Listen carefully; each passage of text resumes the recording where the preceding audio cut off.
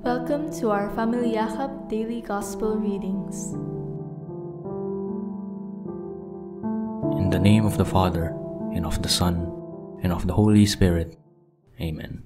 The Gospel for today was taken from the book of Luke, chapter 6, verses 1 to 5.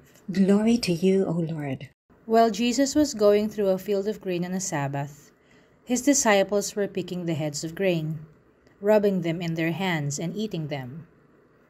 Some Pharisees said, Why are you doing what is unlawful on the Sabbath? Jesus said to them in reply, Have you not read what David did when he and those who were with him were hungry? How he went to the house of God, took the bread of offering, which only the priests could lawfully eat, ate of it, and shared it with his companions?